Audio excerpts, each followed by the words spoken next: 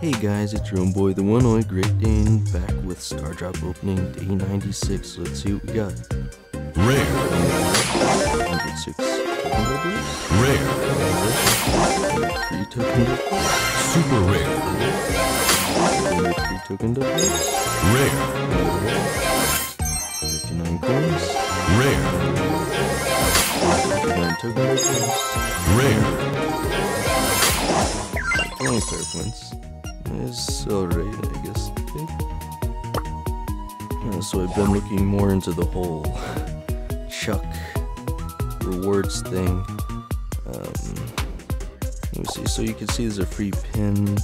Just want to see if it's okay. So I haven't completed it yet. That's kind of good. So there is a special quest. There's a lot going on in the game right now, actually. So there's a quest so you can get a free profile icon. There's a challenge to get a free profile icon, and there's a free profile icon in the shop.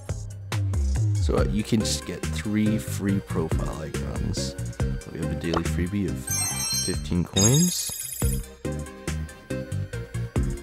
And okay, so this is what I'm really interested in. So I noticeably only have one free pin in the shop right now.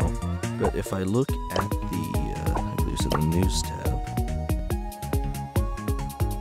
So I went out of my way to buy the happy, sad, and angry Chuck pins.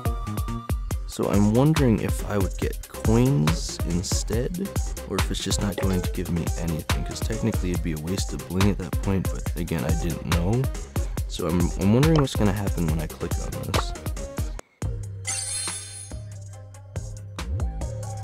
Okay, so that's interesting. So it looks like there's no compensation for if you already have the pins, which again is a bit strange. I wonder if I should reach out to the support about that, because it's technically included in the pack. Um, but other than that, uh, so far a lot of people saying Chuck is overpowered in the heist mode, where he can just get to the safe in two seconds every time.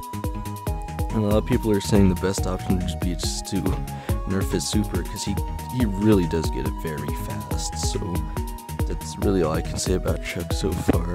Again, uh, I'm kind of glad that I did uh, essentially waste the bling, but I, I'm wondering because if I look back, I, I don't think my bling went up. Like I don't think I got reimbursed the bling, I have to look. But as, as of right now, just don't buy the Chuck pins if you bought the twenty dollar offer because I don't think you actually get anything back.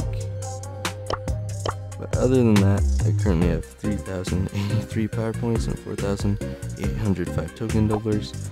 Make sure to complete the challenge, guys. Have some fun. And we're only about four days until day 100, so let's see how far we can take this.